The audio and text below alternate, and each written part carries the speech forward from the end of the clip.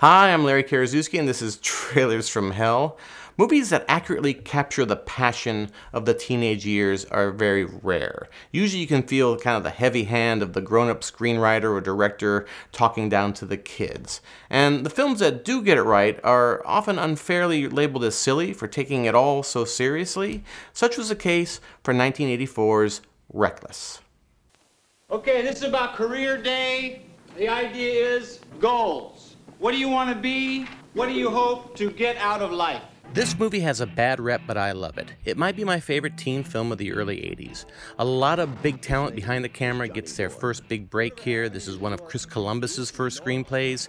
He was red hot at the time with this film, Gremlins, Goonies, all coming out on top of each other. It's one of superstar producer Scott Rudin's first credits. This is Glengarry Glen Ross director Jamie Foley's debut feature, straight out of USC Film School. It's edited by Albert Magnoli, who went on to direct Purple Rain.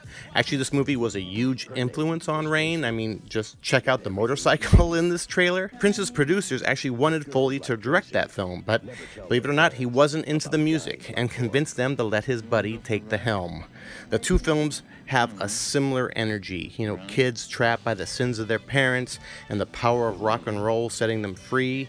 The best sequence in Reckless is a brilliant rock video like montage uh, cut to Kim Wilde's classic Kids in America. The movie has heartfelt performances by Aidan Quinn, Ken McMillan, and a beautiful young Daryl Hannah. It was overshadowed at the time by the Brat Pack pictures, but it's pretty damn good and should be rediscovered today.